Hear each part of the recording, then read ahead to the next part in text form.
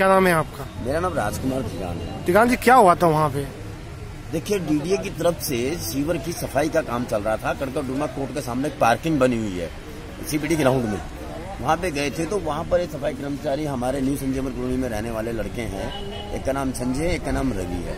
तो वहाँ ठेकेदार, कोई शंकी नाम का ठेकेदार है, उसने उस सीवर में उनको उतार दिया है। हालाँकि सरकार की तरफ़ से ये कहा गया है पहले भी कि बिना किसी उपकरण के, बिना किसी सेफ्टी उपकरण के शिविर में नहीं उतारा जाएगा, क्योंकि पहले भी बहुत सारी घटनाएँ इस प्रकार की हुई हैं कि बहुत सारे लोग शिविर में उतर के उनकी जान चली गई है। लेकिन आज उन सारी बातों को ताक पे रख के उस ठेकेदार ने फिर दोबारा से इनको उतारा है शिविर में। और नतीजा ये निकला है कि वहाँ जैसे उतरे हैं, बिना किसी रस्सी के, बिना किसी सेफ्टी उपकरण के, और उनमें से एक रवि नाम का व्यक्ति बेहोश होकर तुरंत ही गैस के कारण वो अंदर गिर गया है। फिर दूसरा उसको बचाने गया तो संजय नाम का वो भी गिर गया है। तो रवि की एट अ टाइम डेथ हो गई है। फायर ब्रिगेड को बुलाया गया और उसके बाद फिर फटाफट उनको किसी तरह से निकाला गया। यहाँ हेडगवार हॉस्पिटल लेकर आए हैं।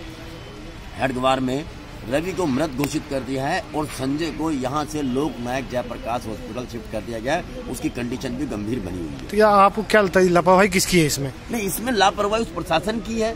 पहले भी कई मौत हो चुकी है। सफ़ाई कर्मचारियों के जीवन के साथ सीधा सीधा खिलवाड़ है। सरकार इस तरफ़ बिल्कुल ध्यान नहीं दे रही है। गरीब परिवार हैं। पैसे की लालच में जिस तरह से आते हैं नहीं वो कह भी रहे थे नहीं नहीं इसमें गैस हो सकती है? हम नहीं उतरेंगे। कहा उन्होंने?